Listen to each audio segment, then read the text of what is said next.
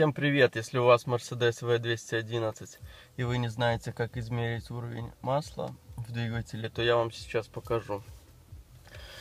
Э, здесь стоит электронный щуп. Надо сразу вставим ключ зажигания, повернем один раз. Этими кнопками надо выбрать пункт меню, где установлена скорость, либо температуру показывает.